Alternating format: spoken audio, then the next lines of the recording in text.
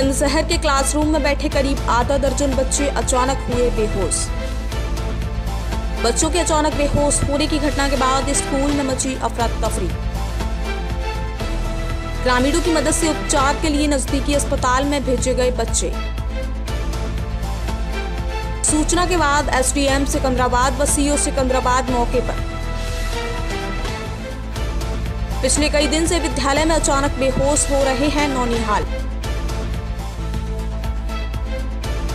जहरीली गैस मानी जा रही है बच्चों के बेहोश होने का कारण।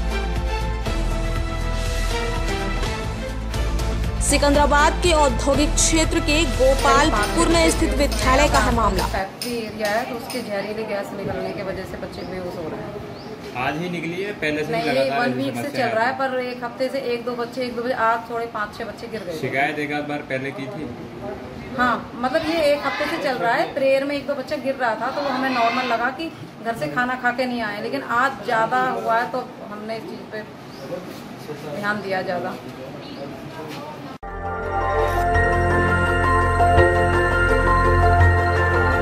देखते रहिए डीवी भारती समाचार। नज़र हर खबर पर।